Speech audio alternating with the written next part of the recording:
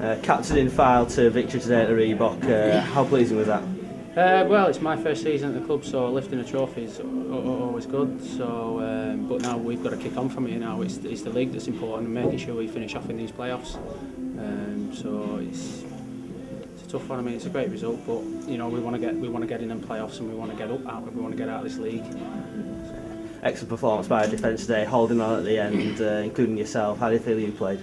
Uh, yeah, I was quite quite happy really. I mean, the first half I think it was a lot stronger. The second half I think he changed the tactics, tried to stop us playing a little bit. Um, and but even still, I thought we had chances to make it comfortable. But fair play to Bamber Bridge, um, they, they, they, they fought on and they had a couple of chances later on and they maybe could have got something out of the game. Warrington on Saturday now. okay. that'll be a tough one Saturday.